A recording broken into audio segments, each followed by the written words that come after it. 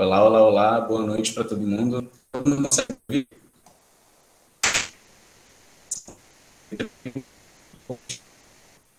Tá falhando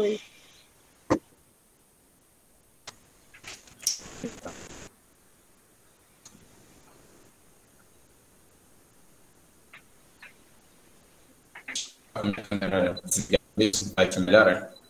É, boa noite para todo mundo. Boa noite, boa noite, boa noite. É, Priscila, bem-vinda a mais uma aula de física do PET Ações Hormônios. Esse aulão está sendo oferecido pelo PET. Para quem não sabe, PET significa Programa de Educação Tutorial, onde eu sou bolsista junto com a minha parceira, minha parceira Priscila Souza. E é, hoje a gente vai conversar com vocês aí sobre o campo elétrico. Aliás, a gente vai falar de corrente elétrica e resistores. Tá? É, eu vou contar um pouquinho para vocês da, da teoria um, e aí a gente vai debater um pouquinho sobre como funcionam essas duas grandezas que são muito importantes para quem vai prestar o de outubro. Tá? É, então, conversar sobre como funciona e a minha Priscila vai finalizar com chave de ouro, fazendo os exercícios aí com vocês. Tá legal? É, lembrando que a qualquer momento vocês podem uh, ligar o microfone e, falar, e mandar as dúvidas de vocês, fazer perguntas. Eu não vou conseguir olhar o chat durante a aula, tá? Que eu vou estar escrevendo aqui para vocês, mas é, qualquer coisa pode ficar Tá certo? Priscila, se quiser falar alguma coisa. Não, então, gente, é isso. Boa noite para todos. É, o Luiz já fez né, a apresentação, então é isso. A gente vai falar com vocês tá, hoje sobre a corrente elétrica, tá certo? Debater um pouquinho sobre isso e fazer uns exercícios bem legais no final da explicação do Luiz, beleza? É contigo.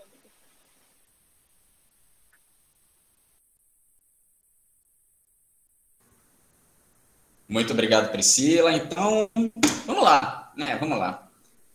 É, a gente vai falar sobre corrente elétrica e resistores. Então, bom, é, o primeiro tópico que eu quero comentar com vocês é sobre a corrente elétrica, para a gente né, poder dar uma olhada em como é que funciona a corrente elétrica no lar da corrente, que são os circuitos elétricos, tá? Então, aqui vamos começar a falar sobre corrente elétrica. É, o primeiro contexto que eu quero mostrar aqui para vocês é o contexto da bateria. Nas aulas anteriores, né, do, do, do PET Física, vocês devem ter visto lá um conceito muito importante que foi o conceito de potencial elétrico. Né? Então, uh, aqui eu vou mostrar para vocês uma bateria, tá? E a gente sabe que uma bateria ela tem dois polos, né? Um polo positivo e um polo negativo. Então, eu vou desenhar aqui uma bateria para a gente se situar melhor. Ah, isso aqui é uma bateria, prometo para vocês. Sim. É, e aí eu vou situar um ponto A bem aqui e aqui um ponto B. Nesse ponto A, tá? nesse ponto A aqui, eu vou dizer que eu tenho um potencial elétrico VA e nesse ponto B eu tenho um potencial elétrico VB. Tá? É, e no primeiro momento eu vou assumir, e vocês já vão entender por quê, eu vou assumir que eles são diferentes, tá? são valores diferentes. Para quem não lembra, quando eu estou falando de potencial elétrico, eu estou falando da, da grandeza física volt, e aqui também é volt. Tá? É, e aí, se eles são diferentes, pensem comigo, uma coisa importante. Se eles são diferentes, é porque tem um que é maior que o outro. Concorda comigo? Tem um que é maior que o outro. É, e aí, nesse caso, eu vou supor que o VA é maior do que o VB. Tá legal? Então, uma condição aqui que a gente vai adotar é que o VA ele é maior do que o VB. É, beleza. São dois pontos com potenciais diferentes, e se o VA é maior do que o VB, é porque o potencial elétrico nesse terminal é maior do que o potencial elétrico no outro terminal. Né? Um, e aí, nesse caso, eu vou dizer o seguinte: bom, é, se eu tenho potenciais elétricos diferentes, o que eu vou fazer a partir de agora é unir o terminal A uh, ao terminal B com um fio condutor aqui. Né? Então, vou unir um, esses dois terminais com fio condutor aqui, certo? E esse aqui é o nosso fio condutor. Tá? Esse aqui é o nosso fio condutor. É, e aí, nesse caso, eu vou dizer o seguinte: como eu tenho um ponto ligado ao outro por um fio condutor, onde o potencial elétrico do ponto A é maior que o potencial elétrico do ponto B, devido a essa, essa diferença, esse desnível de potencial, vai surgir um campo elétrico no interior desse condutor. Vocês concordam comigo? Vocês aprenderam lá no capítulo de, de trabalho potencial elétrico que quando eu tenho uh, duas placas eletrizadas, o princípio é o mesmo. Eu tenho duas placas, paralelas eletrizadas, uma eletrizada positivamente, a outra eletrizada negativamente, é, vai surgir um campo elétrico uniforme do terminal, aliás, da placa de maior potencial, ou seja, da placa positiva para a placa negativa. É isso, surge lá um campo elétrico uniforme. Aqui vai acontecer uma coisa muito parecida. Eu tenho um terminal A de maior potencial e o terminal B de menor potencial, tá? Inclusive, esse terminal A, ele vai levar o nome de polo positivo, tá? Esse aqui é o nosso polo positivo, porque ele tem o maior potencial positivo. E esse aqui é o nosso polo negativo, porque ele é o polo que tem menor potencial. Ah, então, esse aqui é o nosso polo negativo. Ah, então aqui eu tenho um sinalzinho de mais e aqui eu tenho um sinalzinho de menos. Se você comprar qualquer pilha por aí, você vai ver que tem um sinalzinho de mais e um sinalzinho de menos. Esse sinal de mais representa que um, você está olhando para o polo positivo da pilha. O sinalzinho de menos é onde você está olhando para o polo negativo da pilha. Então, o terminal positivo ele tem maior potencial elétrico do que o polo negativo. Tá? É, e devido a esse desnível de potencial entre esses pontos, vai surgir um campo elétrico que sai do polo positivo e chega no polo negativo. Então, aqui surge um campo elétrico E, né, que Uh, vocês já devem saber que é uma grandeza vetorial, tá? Então, quando eu falo de campo elétrico, eu estou falando de módulo, direção e sentido. Uh, e a partir de agora, o que a gente vai fazer é prestar atenção nos elétrons livres presentes nesse fio condutor. Ah, lembrando que quando eu estou falando de elétron, eu estou falando de uma carga que é negativa, né? uma carguinha uh, aqui dentro que é negativa. Ah, menos que. E aí, como a gente, né, vocês também já devem saber que quando eu estou falando de uma carga negativa presente num campo elétrico, uh, vai surgir nessa carga uma força elétrica que se opõe ao campo. Não é isso? Já que o elétron ele é uma carga negativa, a força elétrica que atua nessa carga vai uh, se opor ao campo, ela é negativa. Né? Ela é contra. Então aqui eu tenho um outro vetor, que é o nosso vetor força elétrica. E se o campo elétrico está indo uh, do polo positivo para o negativo, a força elétrica que atua em cada um desses elétrons dentro desse fio condutor é, vai se orientar do sentido negativo para o positivo. Tá? Aí eu só desenhei, é claro que eu só desenhei um elétron, mas eu tenho uh, milhões e milhões, tenho muitos elétrons aí presentes. E aí, você pensa o seguinte: em cada um desses elétrons eu tenho uma força elétrica atuando do polo negativo para o polo positivo. Né? E aí, nesse caso, a gente sabe, vocês aprenderam lá em Física 1, uh, ah, que uma força agindo num corpo, né, numa partícula qualquer, vai resultar uh, no movimento, né, na, na variação da, da, da o estado de, de movimento do, dessa partícula, desse corpo. Então, você imagina que em cada um dos elétrons livres desse fio condutor vai ter uma força elétrica orientada do polo negativo para o polo positivo. Cada um desses elétrons vai se movimentar ordenadamente. E aí eu vou dizer o seguinte: bom, a partir de agora eu tenho o que a gente diz que é um movimento ordenado de elétrons.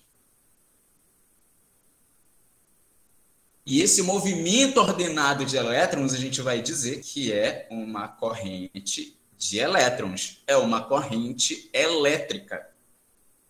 Tá legal? Então é assim que se estabelece uma corrente elétrica uh, nesse contexto da bateria no fio condutor ligando dois polos que têm uh, dois pontos que têm desníveis de potencial entre si, né? Então, se eu estou falando de um desnível de potencial, é porque eu tenho uma diferença de potencial. Essa é uma outra grandeza que é muito importante também, porque só na presença de diferença de potencial é que eu posso ter uma corrente elétrica estabelecida ali naquele contexto. Tá? Então, isso é muito importante para a gente. Tá? É, somente, isso é muito, muito importante, na presença uh, de uma diferença de potencial, somente na presença de diferença de potencial, uh, tem-se corrente elétrica. Tá? Então, se eu não tiver uma diferença de potencial entre os dois pontos que eu estou analisando, eu não consigo ter corrente elétrica. Tá? Então, somente na diferença, somente na presença de diferença de potencial tem-se corrente elétrica, tá certo? Então, é assim que funciona, é assim que surge a corrente elétrica numa situação dessas aí. O desnível entre dois pontos, uh, e aí por causa do campo elétrico que surge no interior desse fio condutor, eu tenho força elétrica que atua em cada um dos elétrons livres, e esses elétrons livres eles passam a se mover ordenadamente dentro do meu fio, uh, e é esse movimento ordenado que a gente chama de corrente elétrica. Uma coisa que vale a pena mencionar é que, se no ponto A eu estou olhando para o potencial elétrico e no ponto B eu estou olhando para o potencial elétrico, a diferença entre eles é potencial elétrico menos potencial elétrico. Então, a diferença de potencial elétrico é dada em volts. Né? Se o potencial elétrico é dado em volts, a diferença de potencial entre potencial é volts também. Tá? É, o potencial elétrico aqui a gente vai denotar pela letra U, né, comumente utilizada ou pela letra U ou pela letra V. Eu prefiro chamar de U é, para não confundir com o, o, a unidade de medida. Tá? Então eu vou dizer que U é simplesmente VA menos VB. E essa é a diferença de potencial ah, estabelecida nessa bateria. Essa diferença de potencial ela pode vir escrita de três formas. Tá? É, aqui. Ou pelo nome completo, né, diferença de potencial. Diferença de potencial. Um, ou ela vem abreviada DDP, ou ela vem no nome de tensão, tá? Então, uh, né, nessas três formas da gente falar, uh, diferença de potencial, DDP, tensão, eu estou olhando a diferença entre os potenciais elétricos de um polo que é negativo e um polo positivo ali na minha bateria, na, naquele meu gerador, tá certo? E uh, a tensão nessa situação, ela é simplesmente VA menos VB. E se VA está em volts, medida em volts, e VB está medida em volts, então a unidade de medida da, da tensão é volts também tá certo? Um, e aí, com isso, somente na presença da tensão, da DDP, da diferença de potencial, é que eu posso estabelecer uma corrente elétrica, certo? Ah, bom, como é que a gente pode olhar para a intensidade da corrente elétrica, né? A, a, eu contei, o que eu contei aqui para vocês é como essa corrente se forma, né? Como é que a gente estabelece uma corrente elétrica. Agora eu estou interessado em tratar matematicamente essa corrente. E aí, uh, um contexto interessante, vocês estão vendo esse fio condutor bem aqui, né? Eu vou dar um zoom nesse fio condutor e aí eu vou pegar um pedaço dele para ver o que, que acontece lá dentro. Tá? Então, tá aqui o nosso fio condutor. Né? É, o que eu vou fazer é traçar um plano que corte esse fio condutor e aí eu vou olhar para a área de seção transversal uh, nesse corte feito. Tá? Então, o que eu vou fazer? Plano aqui. Assim. E eu vou olhar para a área de seção transversal feita pelo meu corte. E o que acontece é que eu tenho todo esse pedaço aqui, essa área que eu vou dizer que é uma área A. Aqui eu tenho uma área A.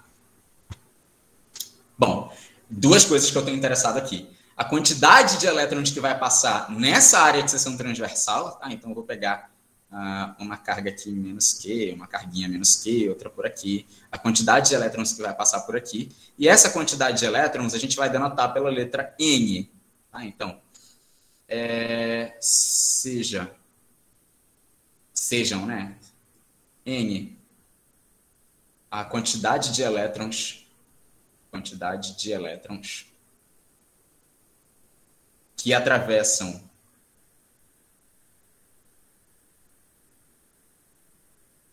essa área A. Tá? É claro que se eu estou olhando para a quantidade de elétrons que atravessa essa área A, é... esse M aqui não existe, né?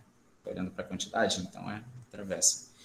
É claro que se eu estou olhando para o número de elétrons que atravessa essa área, eu vou olhar para a carga elétrica de cada um desses elétrons, né?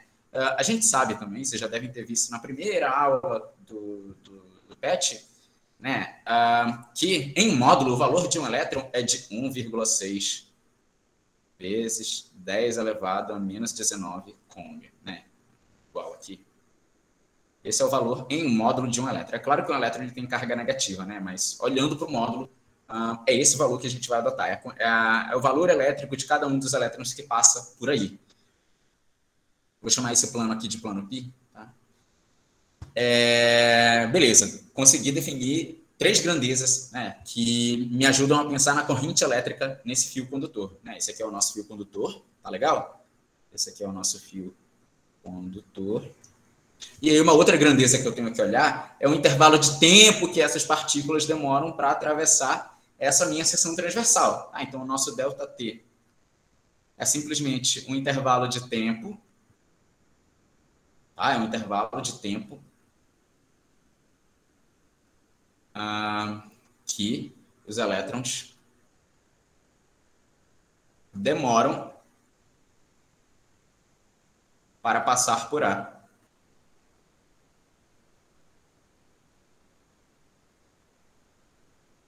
Tudo bem? Um, e é isso que eu estou interessado em olhar. A quantidade de elétrons que passa por essa área de seção transversal, o valor elétrico de cada um desses elétrons, em módulo, claro, e o intervalo de tempo que um, esses elétrons demoram para passar por aí. E aí, com isso, eu consigo definir matematicamente a, a corrente elétrica. Né? Então, a corrente elétrica, que a gente vai denotar pela letra I, ela é dada pela seguinte equação. Então, eu tenho uma corrente I que é simplesmente o número de elétrons que passa por essa área de seção transversal vezes o valor de cada uma dessas cargas. Tá? Eu chamei de, de aqui, aqui eu vou chamar de E, tá? porque eu estou pensando no, no, no, valor do elétron mesmo, 1,6 vezes 10 elevado a menos 19. Vou chamar isso aqui de E, vai.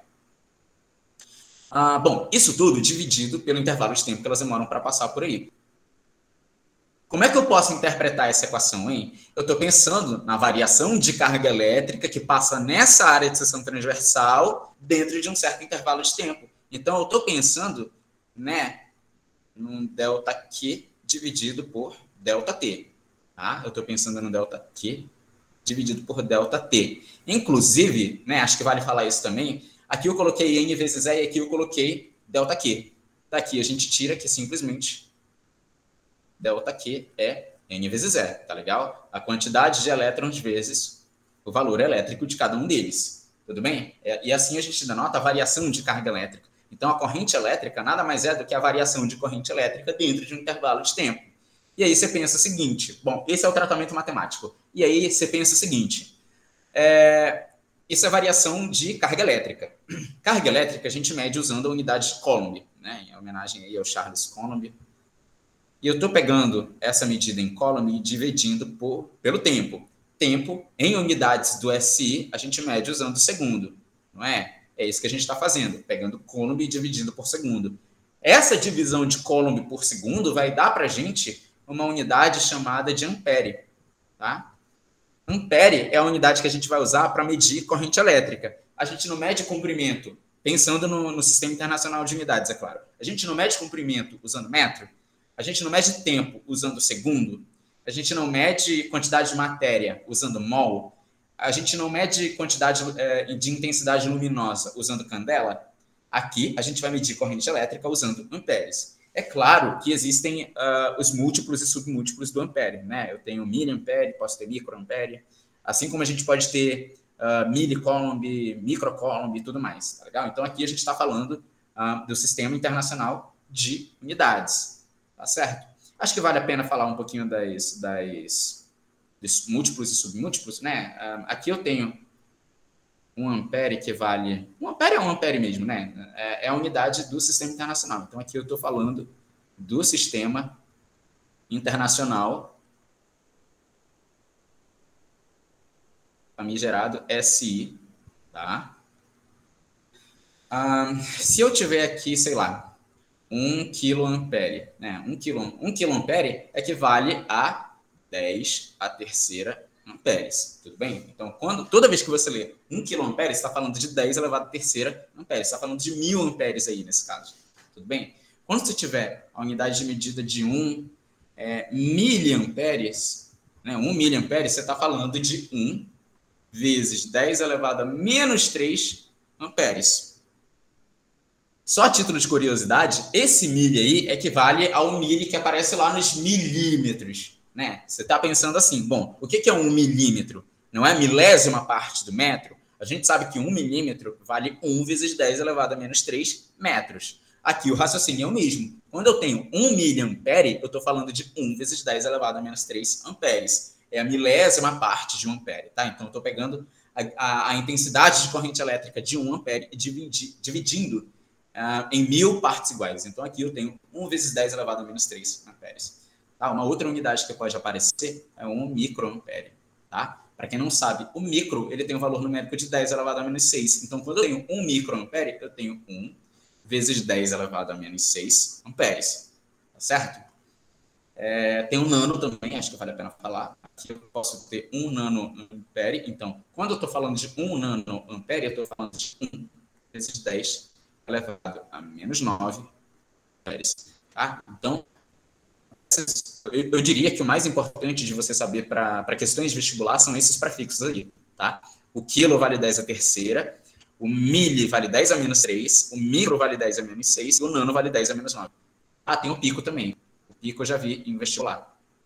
Tem um pico ampere aqui que vale 1 vezes 10 elevado a menos 12 amperes, certo? Então, eu diria que essas, essas, uh, esses múltiplos e submúltiplos eles são importantes para você olhar para uma questão uh, de vestibular, tá? na hora de resolver problema mínimo. Tudo bem? É, bom, assim que a gente define matematicamente o que, é uma corrente elétrica, tá? Então, eu estou olhando para uma, uma corrente de intensidade I, que é nada mais, nada menos do que a variação de carga dividido pela variação de tempo. Tá? Então, se eu dissesse para você bem assim, né, um exemplo aqui, só para só ilustrar mesmo o que eu acabei de falar. É, exemplo 1. Uh, se eu dissesse assim, vai, numa área de seção transversal,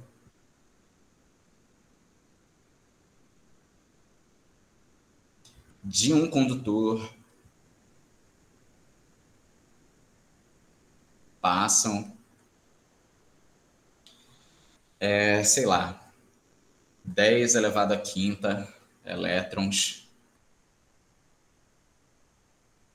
por segundo. Determine a quantidade, de, a intensidade de corrente elétrica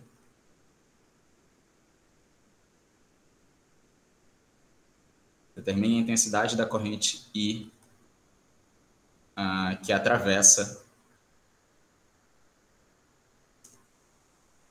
esse condutor.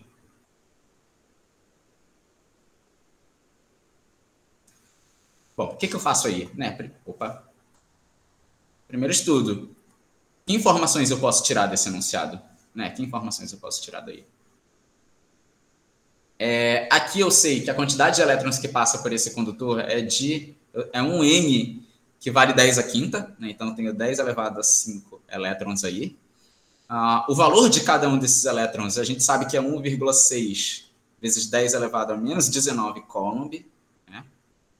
Ah, eu sei que eles vão passar por essa área de seção transversal em um segundo. Então, a cada segundo, eu estou dizendo para você que passam aí 10 elevado a 5 elétrons. Né? Então, o meu delta T aqui, né, o meu delta T aqui é de um segundo. A cada um segundo, eu tenho 10 elevado a quinta elétrons que passam por essa área de seção transversal aí nesse condutor. E aí, como a gente já sabe, corrente elétrica a gente calcula por delta Q sobre delta T, só que delta Q é nada mais, nada menos do que o produto da quantidade de, de elétrons dividido pela carga de cada um desses elétrons. Né? E aqui eu tenho o meu delta T. Meu N vale 10 elevado a 5, né? vale 10 elevado a 5, e o meu E vale 1,6 de praxe, né? vezes 10 elevado a menos 19. Tá? E o meu delta T aqui é 1 segundo. Né? Então, eu tenho 1 segundo. Aqui eu tenho Coulomb e aí, como eu estou pegando Coulomb dividido por segundo, isso é ampere. Ah, então aqui eu vou ter 1,6.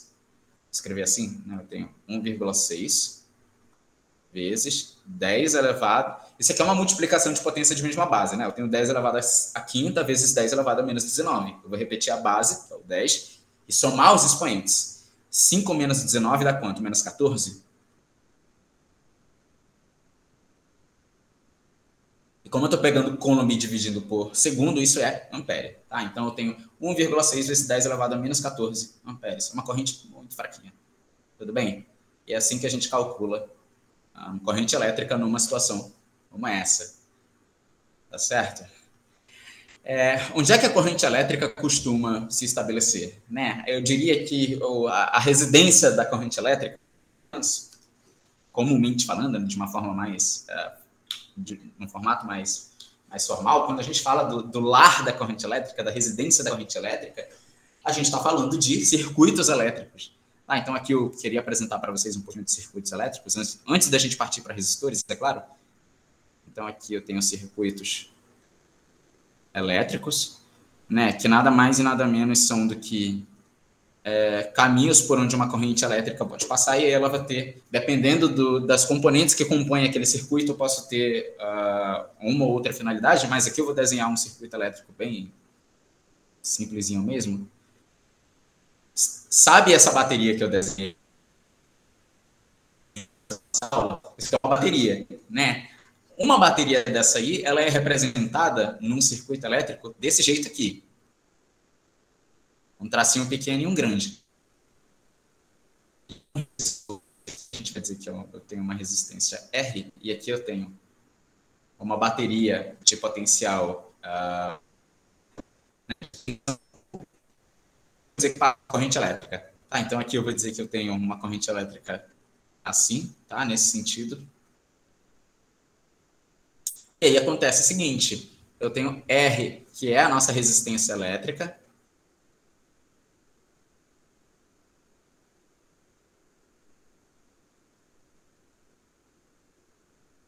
Aqui eu tenho I, que é a nossa corrente elétrica.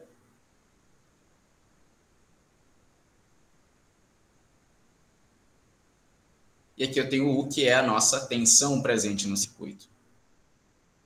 Tá? A unidade de cada uma delas é a seguinte. Resistência elétrica, a gente usa o ohm, que é pela letra, representada pela letra grega ômega maiúscula. Corrente elétrica é 1 ampere. E tensão U, volts. Tá certo? É, e aí, nesse caso, só para a gente né, não ficar perdido com relação a essa resistência, essa resistência ela pode ser interpretada como, por exemplo, o aparelho elétrico, né, o aparelho doméstico de uma residência. Se eu pensar nesse circuito elétrico como sendo as instalações elétricas do, do de uma casa, por exemplo, é, eu estou pensando nessa resistência como sendo, sei lá, um aparelho ligado na tomada Uh, e essa tensão pode ser uma bateria que alimenta esse aparelho, por exemplo. Né? Eu posso pensar numa situação dessas aí. E aí, nesse caso, pensando nessa resistência, eu tenho aí alguns fatores que vão influenciar na, nessa corrente elétrica. E eu queria apresentar a primeira delas para vocês, que é uh, uma grandeza física que chama energia potencial elétrica. Tá? Então, aqui eu tenho energia potencial elétrica.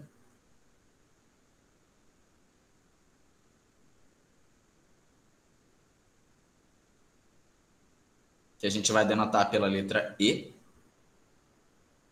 Quando vocês chegarem na aula de leis de Kirchhoff, vocês vão entender por que, que essa, esse tipo de energia leva o nome de potencial. Né? Você já deve ter aprendido lá no primeiro ano do ensino médio que quantidades de energia que têm propriedades conservativas levam o nome de potencial, como é o caso da energia potencial gravitacional, energia potencial elástica. Então, aqui eu apresento para vocês a energia potencial elétrica. Vocês vão ver lá na aula de lei de Kirchhoff, né, mais lá na frente, que é, num caminho fechado, a energia potencial, né, as variações de tensão num caminho fechado, num circuito elétrico fechado, tem que dar zero. E aí isso nada mais é do que uma lei de conservação de energia. Tá? Então vocês vão uh, aprender tudo isso quando vocês chegarem lá nas leis de Kirchhoff. Tá legal? Uh, e aí, quando eu estou falando de energia potencial elétrica, vocês podem, né, energia potencial elétrica, vocês podem encarar como sendo, por exemplo, a energia que ah, vocês pagam na casa de vocês. Cada aparelho ligado numa tomada, vocês concordam que consome uma outra consome energia, né? Só que essa energia ah, ela é calculada em termos de uma outra grandeza física também, que chama potência, tá? Aquela mesma potência que vocês aprendem lá no, na física 1, tá? Então, aqui surge também uma grandeza física que é bastante importante para a gente, que é a potência elétrica. Tá? Quando vocês estavam lá no primeiro ano, vocês estudaram potência de uma força. E vocês viram que a unidade de potência era, era dada em watts. Aqui vai acontecer o mesmo. A potência elétrica vai ser dada em watts. E a potência elétrica é nada mais, nada menos do que, uh, matematicamente falando, a quantidade de energia envolvida pelo intervalo de tempo. Tá? Potência é energia dividido pelo tempo. Aí aqui eu tenho. Ah, esqueci de mencionar. Unidade de energia é Joule, tá? Mesma ideia de energia que vocês aprendem lá em Física 1. Energia potencial, energia mecânica, energia cinética, energia potencial gravitacional, energia potencial elástica. As unidades que vocês usavam lá em Física 1 era o Joule. Aqui, para energia potencial elétrica, a gente também continua usando Joule, tá certo? E aí, o que você tem é que você está pegando Joule aqui e dividindo por segundo. Joule por segundo dá justamente o watts aqui, tá? É, como é que a gente calcula a potência, né? São quatro formas. Nesse, nesse momento, no, no, momento da nossa aula aqui, eu vou apresentar duas. E quando a gente estiver no capítulo de resistência, vai ser já já, é, eu vou apresentar as outras duas, tá? Mas, num primeiro momento, vocês pensem nesse cenário aqui. Eu tenho uh, uma, uma, uma fonte de tensão aqui de, de DDP-U e eu tenho uma corrente elétrica I. A primeira forma de eu pensar em potência elétrica é sendo potência é simplesmente I vezes U, tá? Corrente elétrica vezes a tensão presente nesse circuito. A segunda forma de eu calcular a potência elétrica é pensar é, em termos da, da, é pensar na potência em termos da energia. Inclusive, ah, já está aqui, escrevi uma equação já, não me toquei disso, né? Vou deixar essa, essa, essa equação aqui embaixo da, da outra. Tá, essas são as duas primeiras formas de calcular potência elétrica, tá legal? Aqui eu tenho potência, que é a variação da energia dentro de um intervalo de tempo, e aqui eu tenho potência como sendo corrente elétrica vezes a tensão presente uh, no circuito. O que, que acontece nessa segunda equação aqui, o, o famoso PIL? Né? É, eu estou pegando corrente elétrica, cuja unidade é ampere, e estou multiplicando por DDP, né? DDP, a unidade é volts. Você pega amperes e multiplica por volts, você tem watts. Tudo bem? E aí, por isso, uh, as duas formas de calcular, duas primeiras, né? Formas de calcular a potência elétrica uh, num, num cenário como esse aqui, do circuito elétrico.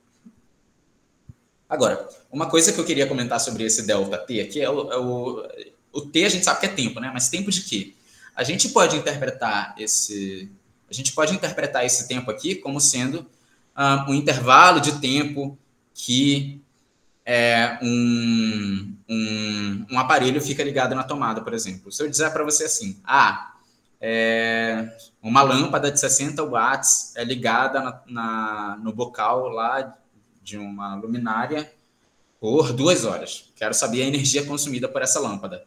Aí aqui, aqui você teria energia, né? Aqui você tem a potência consumida, né? A potência dissipada por essa lâmpada, o intervalo de tempo que ela ficou ligada na, na, na tomada. E aí, com isso, você consegue calcular a energia consumida por essa, por essa, essa lâmpada, tá certo?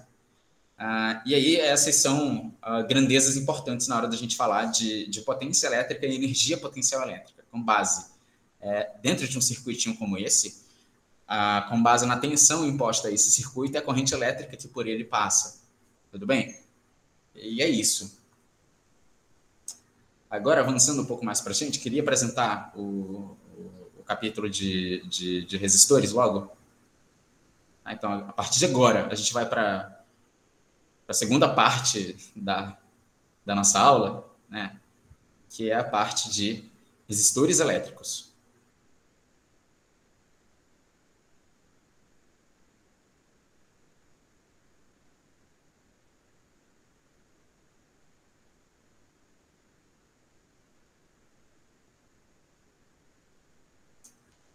Então, uh, quando a gente fala de resistência elétrica, a gente está falando do seguinte: estou pensando num aparelhinho, né? Um aparelhinho não, né? Um, é mais um, um componentezinho presente no circuito, mais ou menos assim.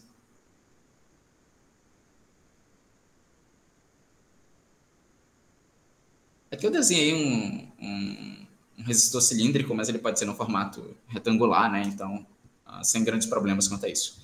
Mas o que é importante a gente saber aqui? Né? O que é importante a gente saber aqui? Quando eu estou falando de um resistor, eu estou pensando num aparelhinho, ah, e por aqui eu estou pensando no resistor de resistência elétrica R, e por ele vai passar uma corrente elétrica de intensidade I. Eu estou pensando numa corrente elétrica de intensidade I. E se eu pensar que esse resistor está ligado em dois terminais, ah, um terminal A, droga, um terminal A aqui e aqui um terminal B, né? Ah, eu vou considerar também que esses dois terminais ele tem desníveis de potencial elétrico, né? Então eles têm potenciais elétricos diferentes. Consequentemente, nesse resistor eu tenho uma diferença de potencial. Diferença de potencial essa que eu vou chamar de U. Tá? É, e aí o contexto é o seguinte: quando eu estou falando de, de resistor, eu estou pensando na corrente elétrica que sai do terminal A e chega no terminal B, consequentemente ele tem que passar por esse resistor, e esse resistor ele vai se opor a essa passagem de corrente elétrica.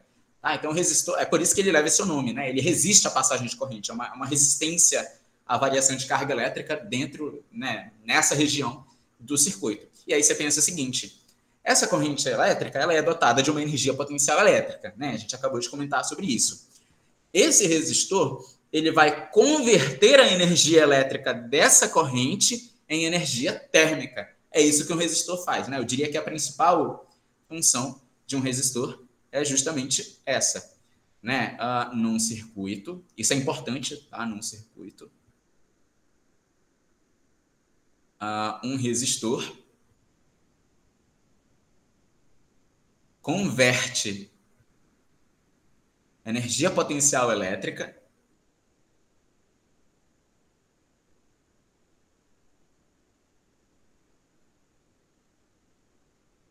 em energia térmica.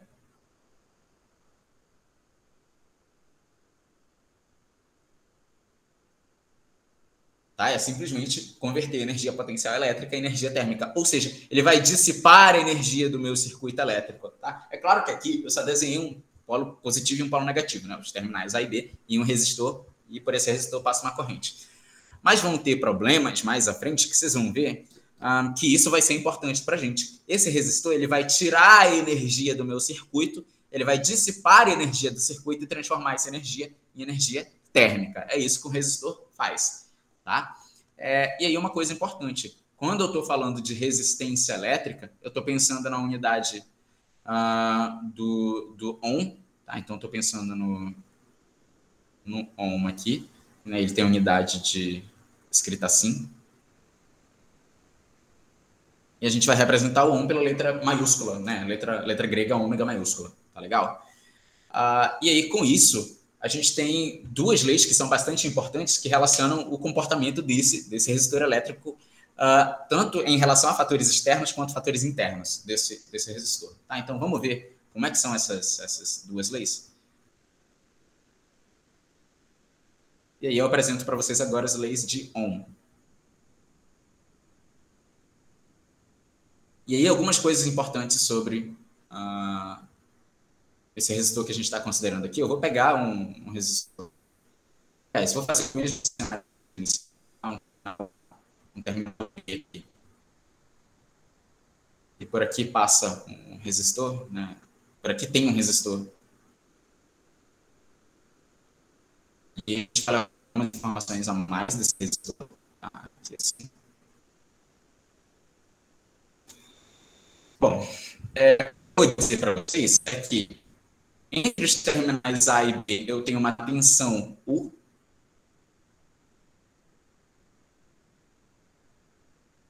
Aqui eu tenho uma tensão U. C, passa uma corrente elétrica de intensidade I. O que mais me interessa desse resistor? A área da seção transversal desse resistor, tá? Então, eu estou uma área A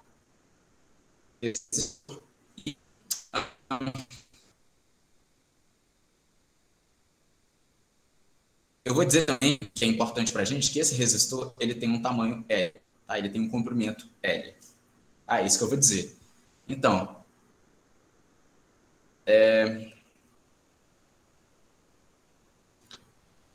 U é a tensão presente nesse resistor, e a unidade de tensão é volt, tá? São os volts.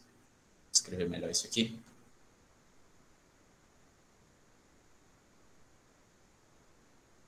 É, que mais? I é a corrente elétrica que passa por esse resistor. Tá? Então, o I é a corrente elétrica.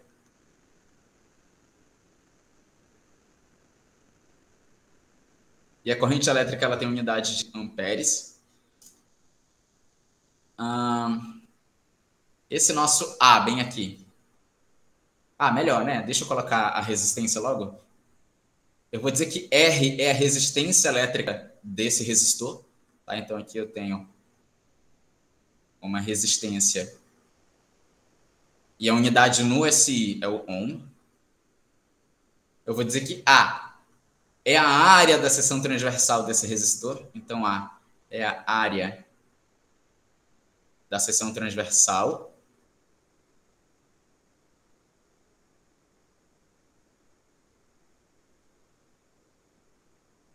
Em SI, em medidas, em unidades de SI, a área a gente mede em metro quadrado, tá? É claro que a gente não vai ter um resistor nunca é, da ordem de metros quadrados, sempre em milímetros quadrados, né? Porque o resistor é pequenininho, ele tem que caber dentro de um aparelho qualquer, por exemplo, né? Então, a, a gente, a, às vezes, vai precisar converter milímetro quadrado para metro quadrado, tá? Lembrando que isso aqui é uma... Para a equação que eu vou apresentar para vocês daqui a pouco, as unidades têm que estar ah, em unidades do SI, que são essas que eu estou colocando aqui. Ah, então, quando você tiver uma resistência de área de, de transversal de milímetros quadrados, você tem que converter para metros quadrados.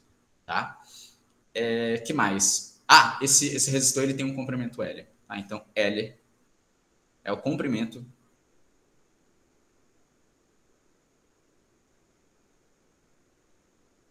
do resistor. Ah, e como é um comprimento, eu estou olhando para metros. Tudo bem? Com isso, vem as duas leis de Ohm. A primeira lei de Ohm ela diz o seguinte.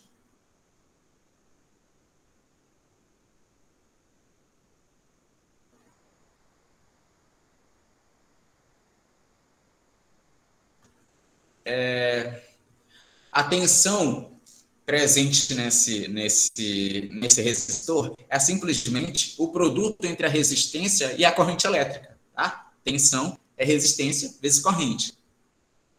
Tensão é resistência vezes corrente. Então, a nossa equação fica assim.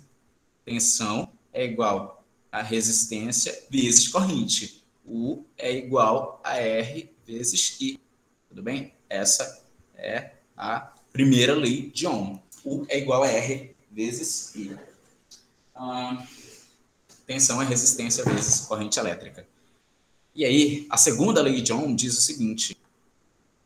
Né? A segunda lei de Ohm diz o seguinte. Ah, só um comentário aqui sobre a primeira lei de Ohm. Vocês estão vendo que aqui tem uh, o meu resistor de resistência R, uh, por ele passa uma corrente elétrica I, e a gente sabe que essa corrente ela surgiu do, da diferença de potencial entre os terminais A e B, bem aqui, uh, e R é a resistência, né? No caso, a primeira lei de Ohm, ela diz que a resistência elétrica desse resistor, ela vai uh, ser, de certa forma, assim, influenciada por fatores externos ao, ao, ao, resistor, né? Então, são fatores que estão presentes ali no circuito, tá? A segunda lei de Ohm, ela vai dizer que uh, essa corrente elétrica, ela vai depender de fatores internos do, da, desse resistor, tá? Como assim? Ela vai depender de fatores geométricos. Tá? Então, a segunda lei de Ohm, ela, vou mostrar melhor aqui para vocês. A segunda lei de Ohm, ela diz o seguinte, né? A resistência desse resistor, ela vai ser, ela vai depender de fatores geométricos. Que fatores geométricos são esses? O tamanho desse resistor e a área da seção transversal que esse resistor tem. E aí você pensa assim: quanto maior é a resistência, aliás, quanto maior é o comprimento desse resistor, maior será a resistência, é isso que diz a segunda lei de Ohm. Então, quanto maior é um resistor, né? Quanto maior é o comprimento, quanto maior é o meu L aí nesse cenário, maior é a resistência, tá? E quanto maior for a área de seção transversal, quer dizer, esse Azinho aqui, né? Quanto mais grosso esse meu resistor for, menor será a resistência dele. É isso que diz a segunda lei de Ohm. Como é que a gente interpreta isso matematicamente? Como é que a gente traduz isso para uma forma matemática? Eu vou dizer que R é diretamente proporcional ao comprimento desse resistor e inversamente proporcional à sua área da seção transversal. É isso que eu vou dizer. E aí você repara que aí eu tenho uma relação de proporcionalidade. Tá? Eu estou dizendo para você que é diretamente proporcional ao comprimento da e inversamente proporcional à transversal. Toda relação de proporcionalidade é igualdade com uma constante. Então, a segunda é o seguinte, é, é sempre uma constante. Droga. R é uma constante, que a gente vai denotar pela letra grega ρ, vezes é, essa, esse quociente aí, L sobre A. Tá? Então, eu tenho ρ, que é igual a L sobre A. E essa é a segunda lei de Ohm. E aí eu queria discutir sobre esse ρ. Né? Que constante que é essa? Né? Que constante de proporcionalidade é essa? É uma constante que a gente diz que é a resistividade do resistor. Ah, então, vou escrever aqui para vocês a, a resistividade do resistor.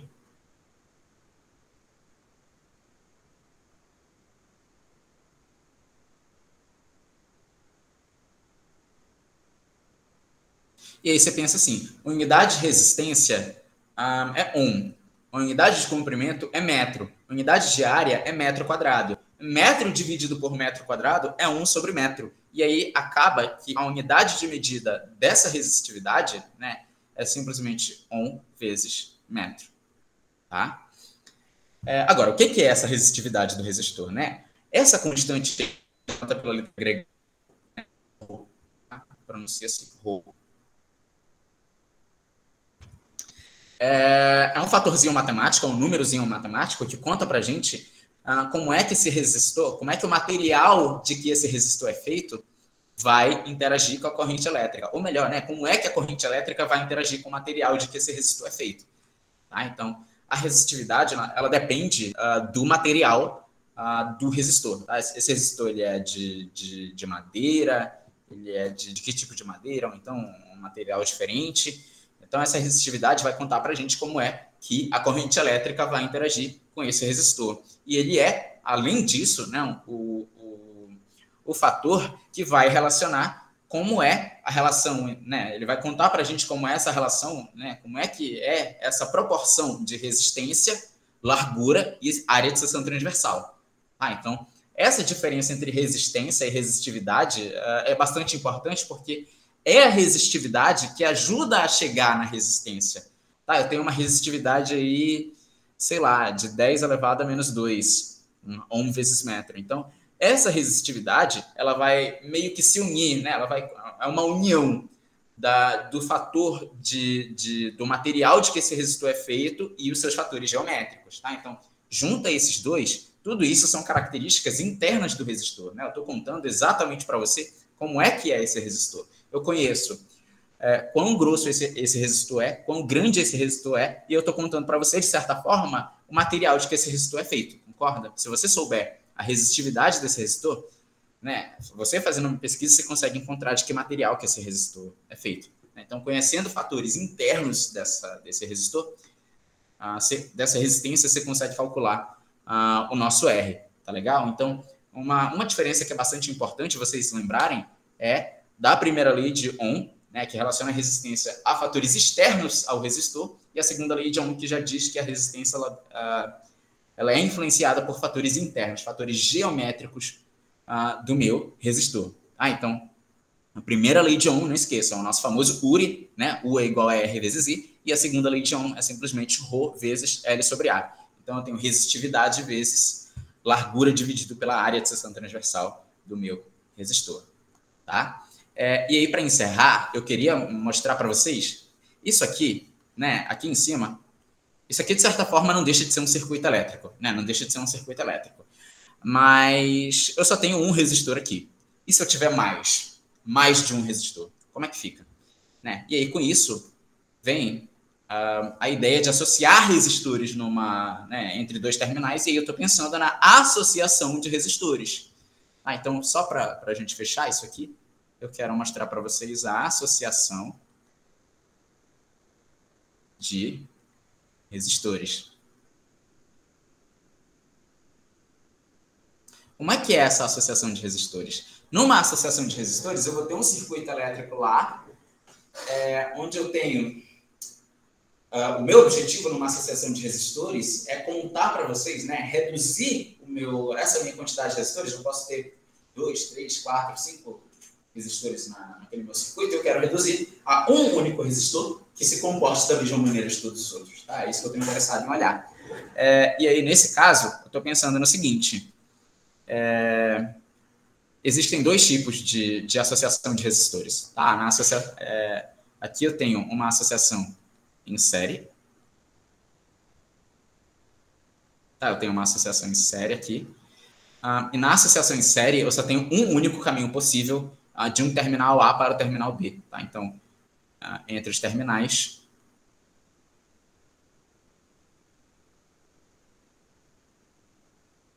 só há um caminho possível.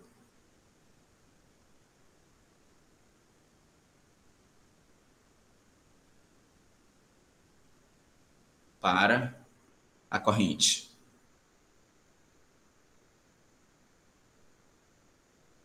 Tá? Só tem um caminho possível, corrente elétrica. Como assim só um caminho possível?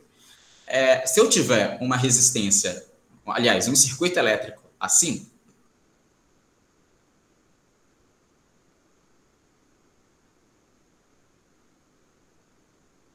desse jeito aqui, todo doidão.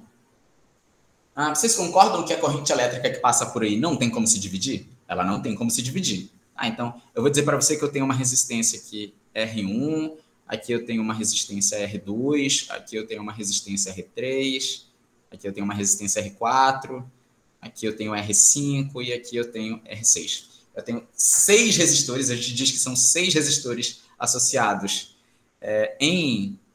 Opa, associados em, em série. Ah, então aqui eu tenho, eu saio do terminal A e chego no terminal B por um único caminho possível. Tá? Então eu tenho aí uma única corrente elétrica, concorda? Eu tenho uma corrente elétrica que eu vou chamar de I, essa corrente não tem como se dividir. Então a corrente que passa por R1 é a mesma que passa pela R2, que é a mesma que passa pelo R3 e assim em diante.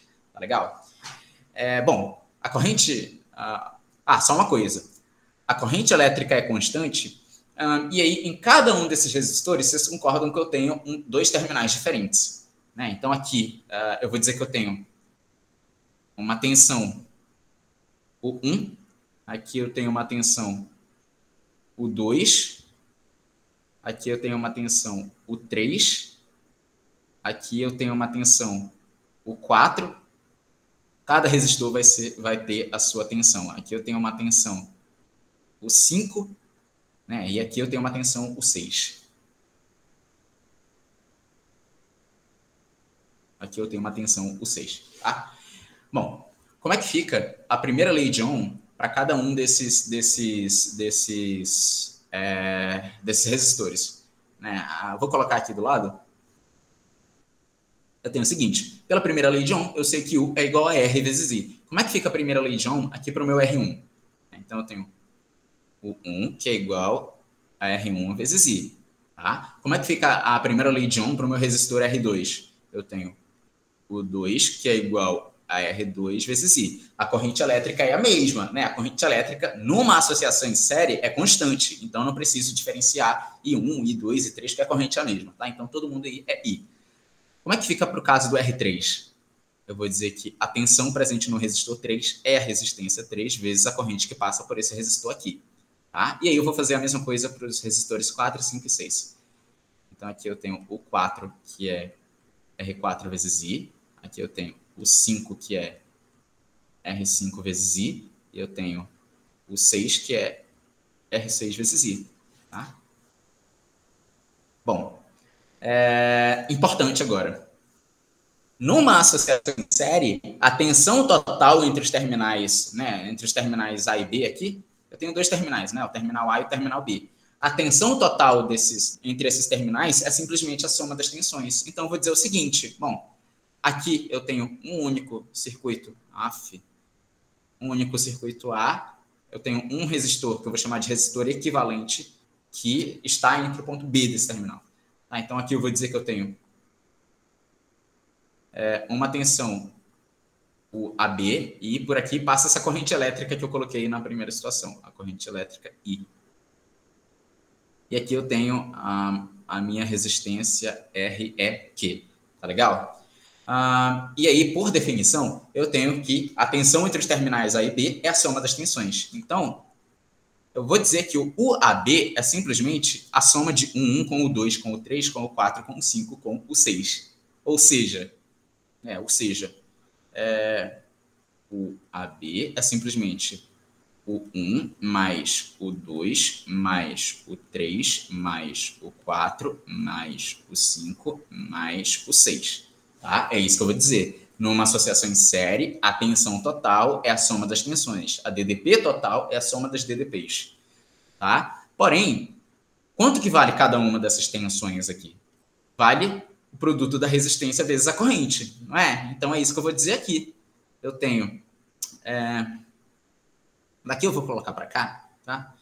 É, eu tenho o seguinte: eu vou dizer que ah, o AB é simplesmente R1 vezes I, que é o valor de U1, né? U1 a gente viu que vale R1 vezes I. E aí o equivalente para os outros aqui, tá? Então aqui eu tenho o 2, que é R2 vezes I, mais o 3. Mas quanto vale o 3?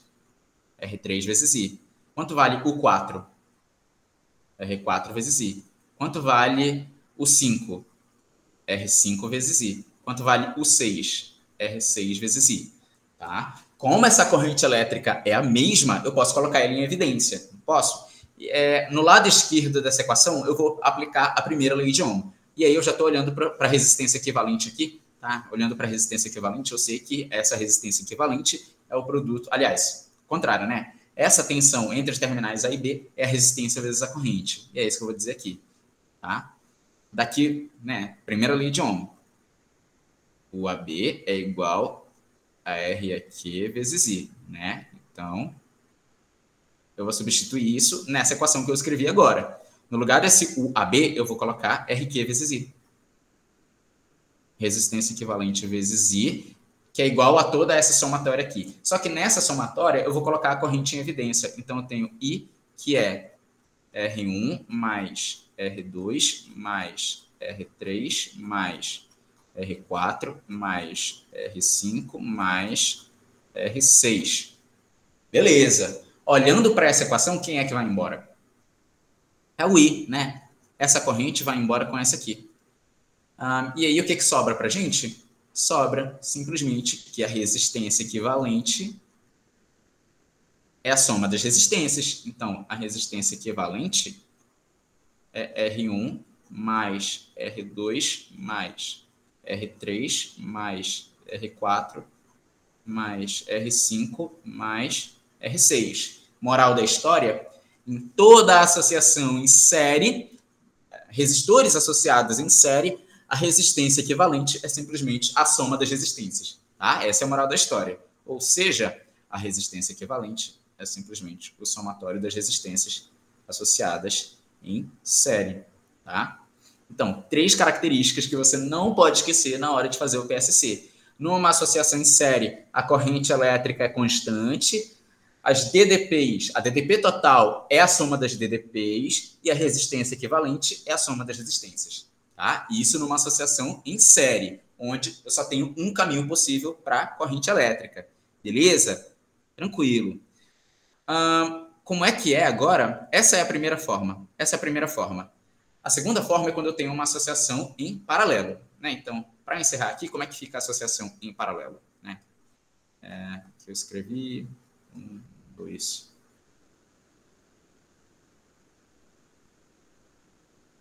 como é uma associação em paralelo, né?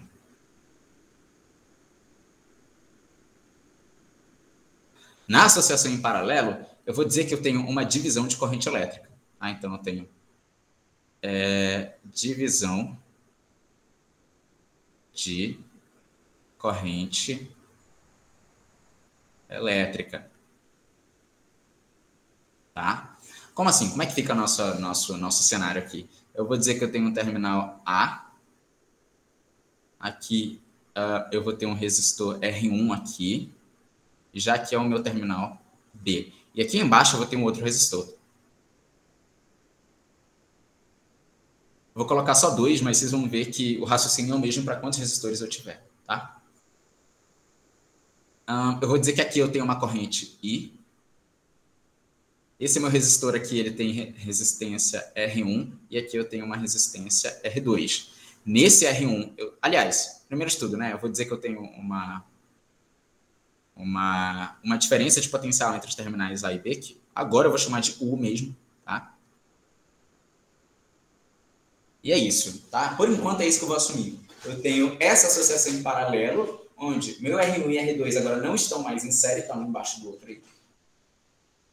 É, e aí eu tenho esse pontinho especial bem aqui, que ele leva o nome de nó Tá? Ele é o nó do meu circuito. Isso aqui também é um nó. Tá? Isso aqui também é um nó. E o nó, ele, ele é um ponto onde a corrente elétrica se divide. Tá? Por, pelo fato de eu ter essa divisão de corrente, eu digo que, nesse caso, eu tenho uma associação de resistores em paralelo. Como é que funciona isso? Essa corrente elétrica está saindo do terminal A com intensidade I. Quando ela chega nesse nó aqui, ela vai se dividir para o resistor R1 e vai se dividir para o resistor R2. Concorda? Fica metade, metade? Não. Tá? É, quer dizer, isso vai depender das resistências, mas não necessariamente vai se dividir. Tá? Aqui eu tenho I1 sobre 2, aqui eu tenho, aliás, I sobre 2, e embaixo I sobre 2. Não. Não é assim que funciona. Não é assim que funciona. É, aqui, eu vou dizer que subiu uma corrente elétrica de intensidade I1, e aqui embaixo eu vou dizer que desceu uma corrente elétrica de intensidade I2. Tá? Agora, é... eu vou dizer o seguinte. Aqui eu tenho o meu R1 tem uma tensão, uma DDP associada a ele individualmente, e aqui no R2 eu tenho uma outra tensão associada ao meu a resistor R2 individualmente também. Aqui eu vou dizer o seguinte: a tensão, né, a DDP do circuito, uh, é constante em cada resistor associado em paralelo. O que é que eu quero dizer com isso? Nos resistores associados em paralelo, essa tensão ela não vai mudar, ela vai ser constante. O que é que eu quero dizer? Né? Como assim? É, se, nesse caso, a diferença de potencial entre os terminais A e B vale U, quanto é que vale a DDP do meu resistor R2? Vale U também. Quanto é que vale a DDP do meu resistor R1? Também vale U, tá? Isso é uma DDP constante. Numa associação em paralelo, a diferença de potencial entre os terminais A e B é a diferença de potencial dos resistores em paralelo, tá? É isso que eu vou dizer. A corrente elétrica muda se os resistores elétricos forem diferentes, né, se as resistências forem diferentes, a corrente elétrica muda e a tensão permanece constante, tá? A DDP, nesse caso, é constante. Vamos fazer aqui do lado a primeira lei de Ohm para cada uma dessas resistências. Tá? Como é que fica a primeira lei de Ohm para cada uma dessas resistências? É, aqui eu tenho o 1 não, né? A tensão é constante, então eu vou dizer que isso aqui é um U. Tá? U é simplesmente R1 vezes I1. Perceba que agora eu estou diferenciando a, a corrente elétrica porque eu, nesse caso, tenho correntes elétricas que são diferentes. Tá? É, o meu U aqui de cima vai ser R1 vezes I1, e aqui embaixo eu vou dizer que eu tenho um U que é R2 vezes I2, tá? É, e aí vocês lembram o que eu comentei com vocês ainda agora. O meu objetivo numa associação em, em paralelo, em série também, mas em, numa associação de resistores, é reduzir uh, esses meus resistores a um único que se comporte da mesma maneira dos dois. Tá? Como é que eu reduzo esses dois circuitos? A um único né? Então, aqui né, eu tenho um terminal A, meu resistor equivalente aqui, aqui eu tenho um terminal B, essa é a minha resistência equivalente, eu sei que aqui a diferença de potencial entre os terminais A e B é a DDPU, e por aqui passa a minha corrente elétrica I. Só que eu sei que essas correntes elétricas são diferentes, concorda?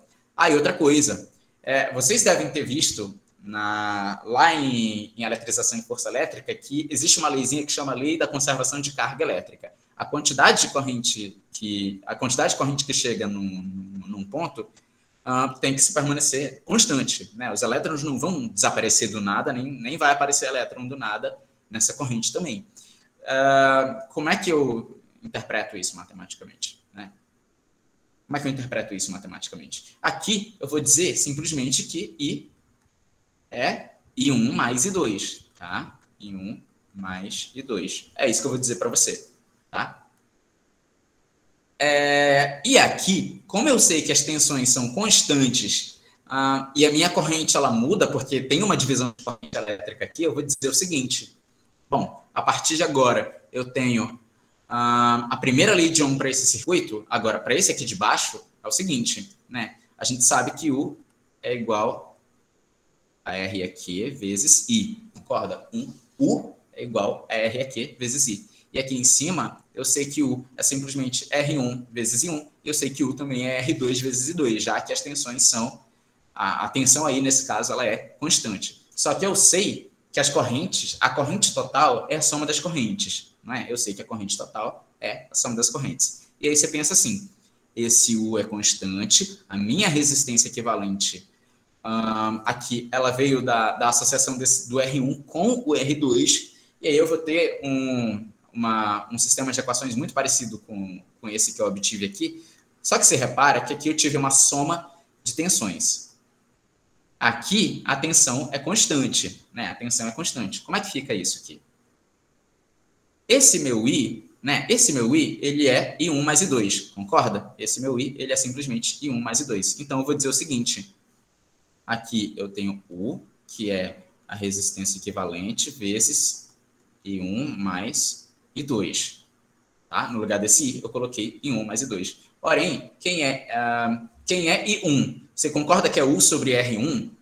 Quem é I2? Você concorda que é U sobre R2? Isso aqui é U sobre R2. Né? Então, eu vou dizer o seguinte. Aqui eu tenho U, que é simplesmente a resistência equivalente, vezes... Uh, eu quero I1, mais I1 é U sobre R1. Né? Então, aqui eu tenho U sobre R1 mais U sobre R2. Sim, aqui eu tenho U sobre R1 mais U sobre R2. E todo mundo aqui é constante. É, e aí você repara que aqui eu tenho uma somatória de duas frações, onde os numeradores são iguais. Você concorda que eu posso reescrever essa equação do seguinte formato? U é simplesmente R aqui, que multiplica U vezes 1 sobre R1 mais, é, colocando esse U para fora da fração, né? Isso aqui é U vezes 1 sobre R2, não é? 1 sobre R1 mais 1 sobre R2, tudo isso vezes U. Eu, eu posso colocar esse U em evidência, né? Eu posso colocar esse U em evidência, e aí eu fico com o seguinte. U é igual a R é Q vezes U, que multiplica a U sobre R1 mais 1 sobre R2. Olhando para essa equação, quem é que vai embora? Eu vou, vou colocar um 1 aqui para a gente visualizar, melhor. Né? E aí vocês percebem que esse U vai embora, vai embora com esse, já que é constante, né? então ele vai embora. E aí o que, que me sobra aqui, hein? Me sobra o seguinte. É, 1, né? Só sobra um aqui desse lado, então eu tenho 1 que é R aqui, que multiplica 1 sobre R1 mais 1 sobre R2. Esse R aqui está multiplicando todo esse termo entre parênteses, não é? Está multiplicando todo esse termo entre parênteses. Então, ele vai passar para o outro lado dividindo. Tá? Ele vai passar para o outro lado dividindo. Então, eu vou escrever assim. 1 sobre R aqui, né? Ele está multiplicando para passar dividindo. Então, eu tenho 1 sobre R aqui. É simplesmente 1 sobre R1 mais 1 sobre R2. Moral da história, numa associação em paralelo, a resistência equivalente, R aqui, vocês não esqueçam que R aqui, é essa resistência equivalente. Resistores aqui e, e coloquei eles em. Ah, associei em paralelo e transformei eles dois em um único. Qual é a moral da história de tudo isso que eu contei para vocês? Numa associação em paralelo, a resistência, o inverso da resistência equivalente, né? Porque eu tenho 1 sobre R aqui, o inverso da resistência equivalente é a somatória do inverso das resistências. Tá? É a somatória do inverso das resistências. O que, que aconteceria se eu tivesse aqui um circuito elétrico assim, né? Eu vou fazer um caso à parte aqui para a gente entender melhor. O que, aconteceria se eu tivesse um circuito Aí aqui eu tenho um circuito, um, um resistor. Aqui está o meu terminal B. aqui eu tenho outro resistor, e aqui eu tenho mais um resistor. Assim, vai. Vamos olhar para esse circuitinho aqui. Aqui eu vou dizer que eu tenho uma resistência R1, aqui eu tenho uma resistência R2 e aqui eu tenho uma resistência R3. É, com, tá? Quando eu faço a associação em paralelo, porque vocês concordam que aqui eu tenho um nó, nó. então essa, esses são associados em paralelo. Como é que eu reduzo, reduzo esses três resistores para um único? Eu fico com uma, um terminal A, um resistor aqui, terminal B, e aqui eu tenho a minha resistência equivalente. Pelo que eu acabei de contar para vocês, numa associação de resistores em, é, associados em paralelo, essa resistência equivalente é a somatória do inverso então, nesse caso, para o meu resistor de três, para o meu circuito de três resistores, esse meu R aqui, ele é relacionado como 1 sobre R aqui, nesse caso aqui, 1 sobre R1, mais 1 sobre R2, mais 1 sobre R3. Tá? Ah, Luiz, se eu tiver cinco resistores associados em paralelo, como é que fica? Eu teria 1 sobre R aqui, que é a resistência equivalente, é igual a 1 sobre R1, mais 1 sobre R2, mais 1 sobre R3, mais 1 sobre R4, mais 1 sobre R5. Se eu tiver 3, 4 resistores, 1 sobre R aqui é igual a 1 sobre R1, mais 1 sobre R2, mais 1 sobre R3, mais 1 sobre R4, e assim por diante. Tá? O inverso da resistência equivalente é a somatória do inverso de cada uma das resistências. Tá legal? É, antes de passar para a Priscila, eu só queria comentar uma coisinha que eu esqueci de falar para vocês bem aqui. Aqui eu defini para vocês as duas leis de Ohm e defini o que, que é a resistência elétrica. Né? É, vocês lembram que eu falei para vocês que tinham quatro equações de relacionar potência? Apresentei as duas primeiras e aí eu queria apresentar as duas últimas para vocês aqui. Tá? A terceira equação da potência elétrica, né, que a gente interpreta como a potência dissipada por esse resistor, e aí levando o, o resistor como um aparelho elétrico seria a potência dissipada por esse aparelho. Tá? A terceira equação da potência é essa aqui. P igual a resistência vezes o quadrado da corrente que passa por aqui. Essa equação é importante. Tá? E a quarta equação é o nosso P igual a o quadrado sobre R. Tá? P igual ao quadrado sobre R. Um, esses dois, esses dois, essas duas equações de, de, de potência, elas são, são válidas se a relação entre a, a tensão presente no meu resistor e a, e a corrente elétrica for constante. Tá? Então, o que, que eu quero dizer com isso? Né? Só para a gente encerrar aqui. É... Só para a gente ver o que, que são resistores ômicos. Né? Aqui eu tenho Posso, deixa eu ver se eu consigo fazer assim.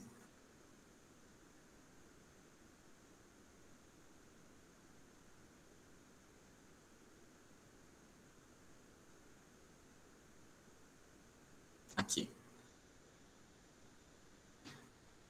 Eu digo né, que um resistor é ômico quando eu tenho, quando eu consigo traçar um gráfico da primeira lei de Ohm, tá? E igual a R vezes I, assim eu tenho o gráfico da tensão em volts em função da corrente em amperes, que é um, uma reta, tá? Qual é a equação dessa reta? É o que é a R vezes I. Como é uma reta, isso é uma função de primeiro grau, tá? Função essa de primeiro grau que é ligada essa função de primeiro grau, na verdade, é a própria primeira lei de Ohm, tá? O igual a R vezes I, de forma que se eu olho para a tangente do ângulo de inclinação dessa reta, né, eu tenho um ângulo θ aqui, um ângulo alfa de inclinação dessa reta. Né? Se eu fizer a tangente desse ângulo de inclinação, é, essa tangente ela é cateto oposto dividido por cateto adjacente. Né? Então, o cateto oposto desse meu triângulozinho que aparece aqui, né? aqui na, na vertical do meu triângulo, eu tenho U.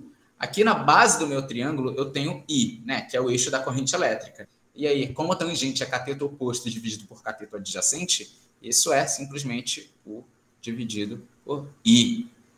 R não. é o dividido por I. Né? Já que o eixo das abscissas aqui do meu gráfico é a corrente. Né? Então, eu tenho U dividido por I. Ah, e isso, pela primeira lei de Ohm, dá justamente a resistência. Tá? Pega esse I aqui e passa para o outro lado dividindo. Você tem U sobre I, que é R. Só que U sobre I aqui é a tangente de alfa, portanto, é, a tangente do ângulo de inclinação de um gráfico como esse é simplesmente a resistência elétrica.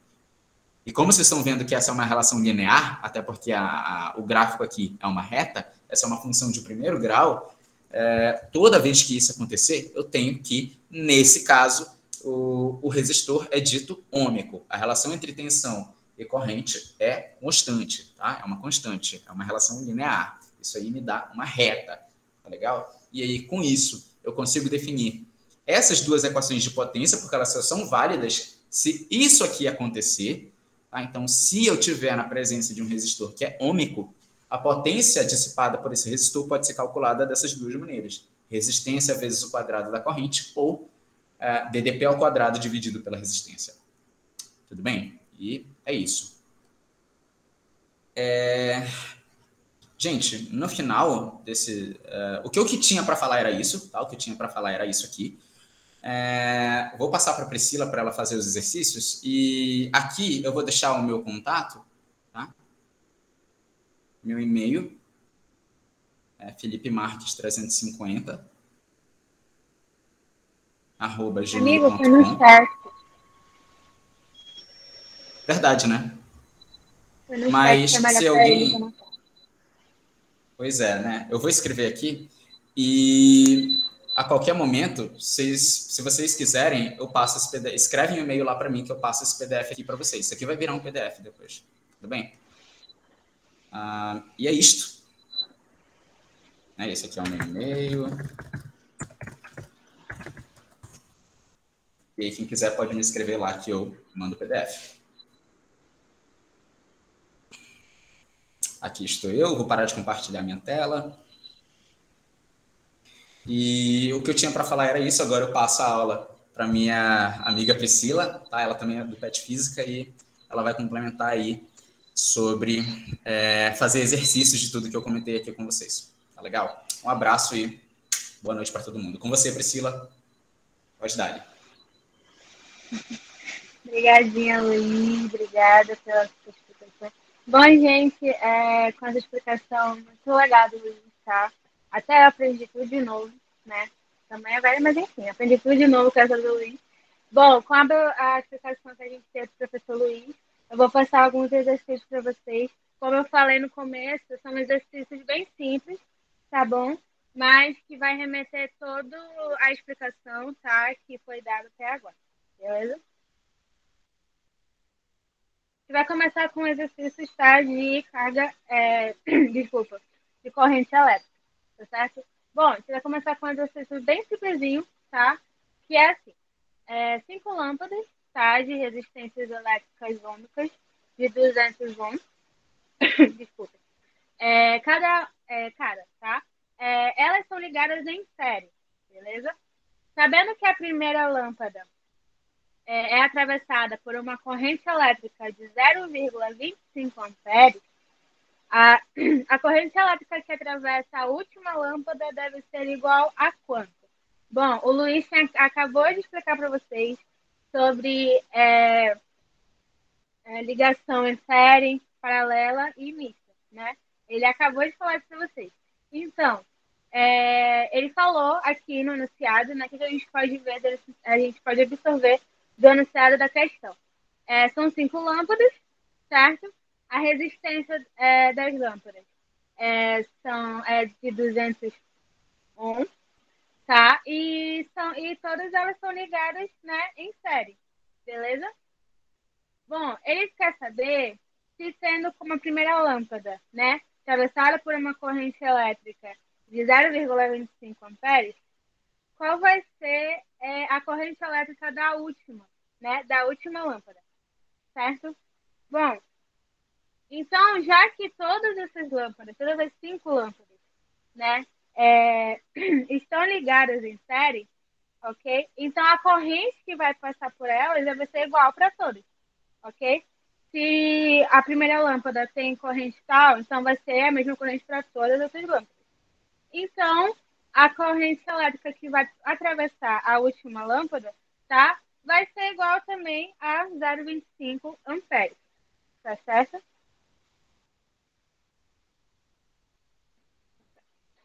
Bom, essa aqui também. É, um fio condutor é atravessado por uma corrente elétrica de 8, de 8 amperes durante o intervalo de tempo de 2 segundos.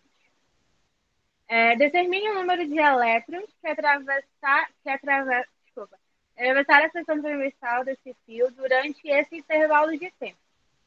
De novo, uma dica que a gente dá para vocês, quando vocês forem é, fazer a prova, é sempre ler mais de uma vez, se você não entendeu, o enunciado da questão.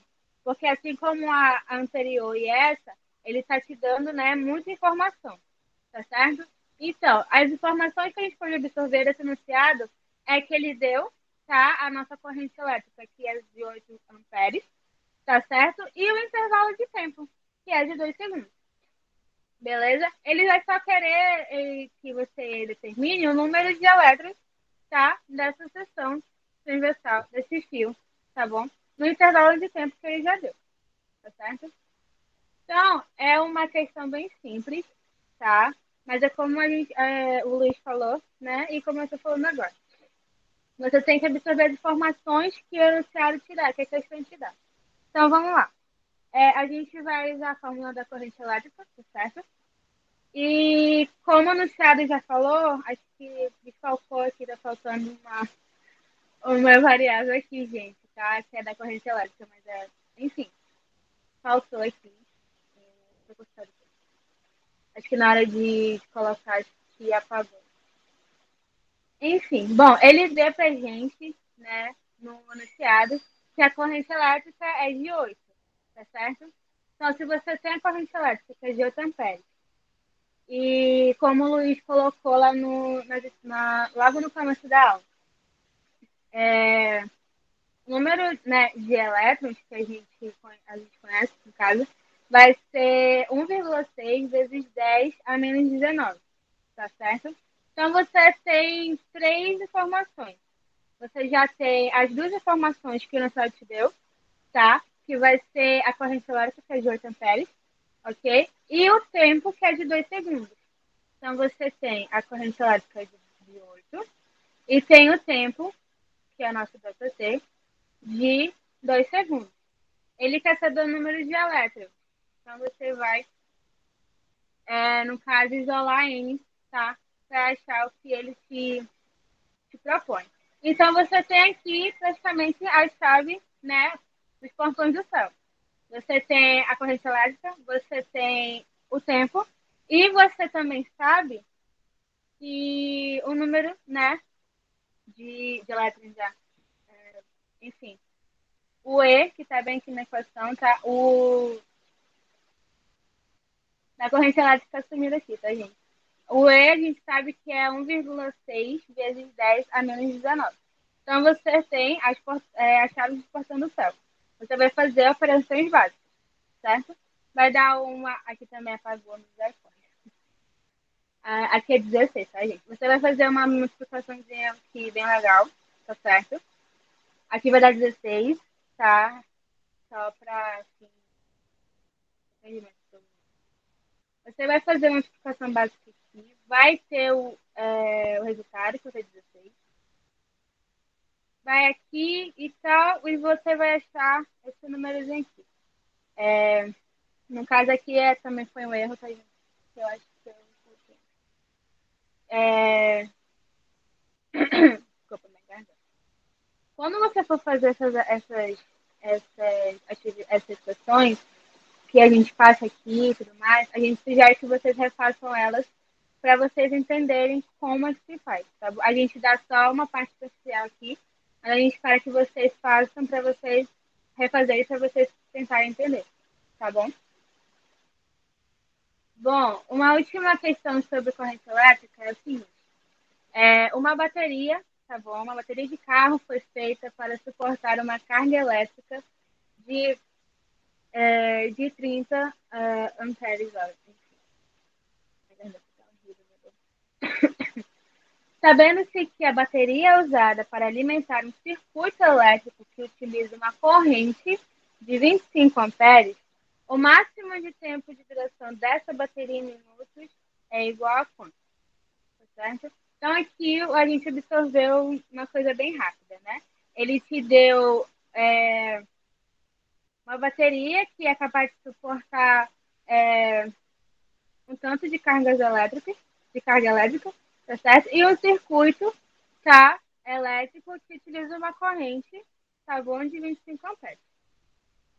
Então, ele quer saber... Então, ele quer saber de vocês é, qual é o máximo de tempo de duração dessa bateria.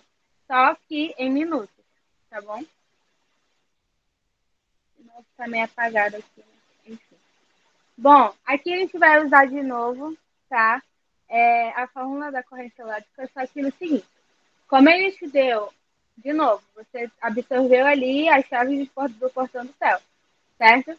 Ele te deu a carga, que é 30, tá aqui. Ele te deu de novo a corrente elétrica, que aqui está aparecendo, que é 25, tá bom? Mas ele quer saber o tempo.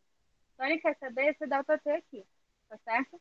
Então, você tem a, a quantidade de carga, carga elétrica e você tem o, a nossa corrente elétrica, tá certo? Então, é o seguinte, operação básica também aqui. Você vai isolar o que ele te pede, no caso aqui, ele te pede o tempo em minutos. Ah, só lembrando, quando você vai fazer as operações ou as questões que te pedem para ter minutos, a resposta né, em minutos, em segundos, em horas, enfim, que te pedem tempo, não esqueçam sempre de anotar do lado, assim, no cantinho, para você não esquecer, não se atrapalhar. É, quanto vale, no caso aqui, é, um minuto, tá? No caso, como ele pede minutos, escreve do ladinho. Não esquecer. É um minuto igual a 100 segundos, entendeu? Para você não se enrolar e não se perder na hora de fazer a, a conta, tá bom? Então, vamos lá. Ele quer que você ache o nosso DataT em minutos. Você tem 30, que é a nossa, nossa, nossa quantidade de carga. Você tem 25. Esse 20 você vai isolar o DataT vai achar aqui, tal. Você vai lembrar que esse resultado aqui, que no caso deu 1,2, você vai, é, não vai esquecer aquela dica que eu te dei, de multiplicar, tá, por 60, no caso, 1 minuto, 60 segundos. Então, não esqueça de fazer essa transformação aqui. Então, o nosso delta T, que ele pede, vai ser 72, tá, minutos, certo? Alguma dúvida até aqui, gente? Acho que não,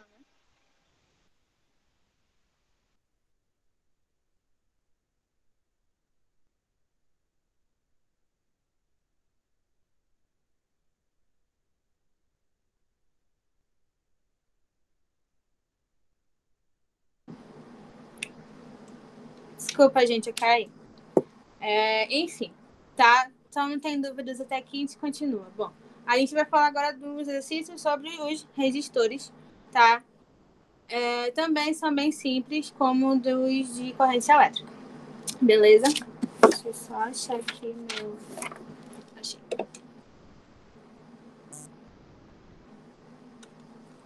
É, bom, essa é a nossa primeira é, questão. Forma-se, por meio da resistência elétrica de um chuveiro, uma corrente elétrica de 20 amperes, quando ligada a uma diferença de potencial de 110 volts.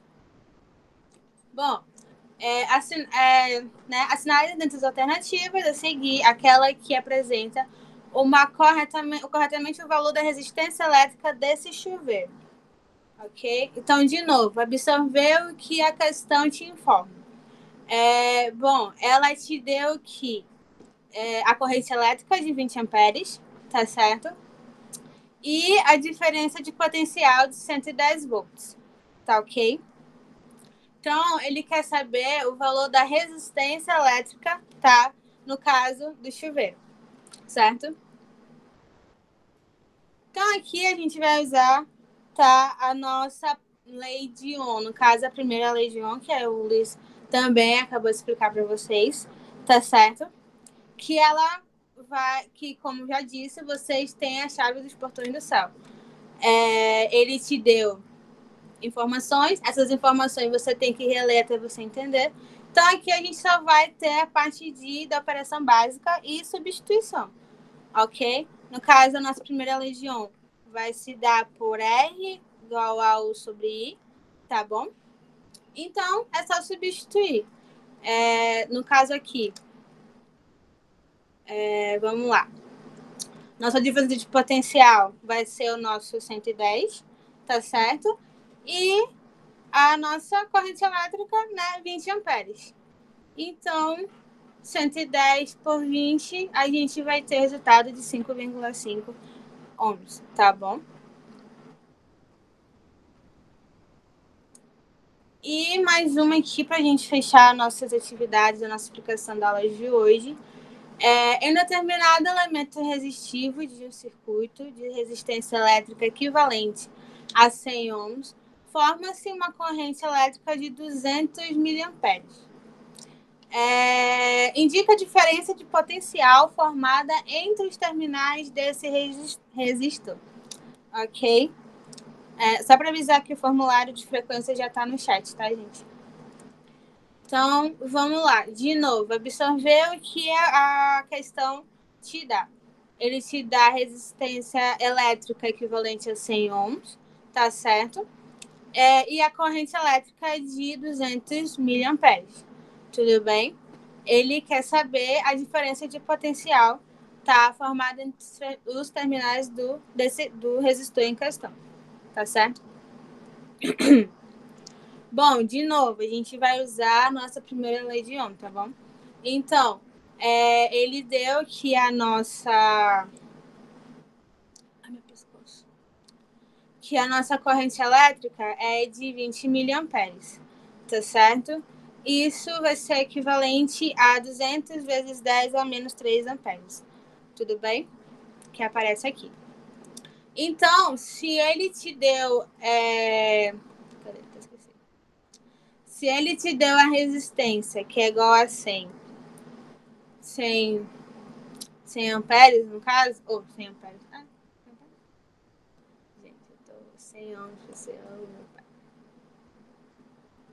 Ele te deu a resistência, tá bom? Que é 100 ohms, tá certo? E só que ele quer saber a diferença de potencial, ou seja, ele quer saber nosso U aqui, tá certo? Ele deu a resistência que é 100 ohms e ele deu a nossa corrente que vai é, 200 miliamperes, tá bom?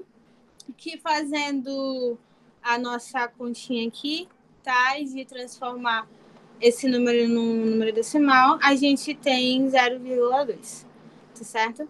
Então, fazendo as continhas, a gente tem. Aqui você vai fazer multiplicaçãozinha básica, tá bom? Então. Ah, para, então, nossa diferença de potencial, nosso U, vai ser 20 volts. Tudo bem? E por último, mas não menos importante, é, vamos lá. Um cabo feito de liga de cobre possui área de seção transversal correspondente a 10 milímetros ao quadrado. Aqui é quadrado, tá, gente? Na hora de digitar aqui, ficou assim.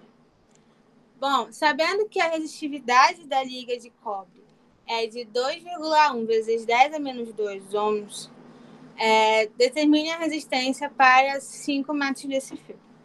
Tá certo? De novo, informações sobre a questão absorvidas para você poder fazer e entender. Bom, aqui a gente vai usar a nossa segunda legião, tá certo? Que o Luiz também explicou bem legal para vocês, tá? Aonde ela vai consistir em R igual a P vezes L sobre A, tá certo? De novo, absorvendo as informações da questão, vocês têm a chave dos pontões do céu. Então, a gente vai ter aqui é, o nosso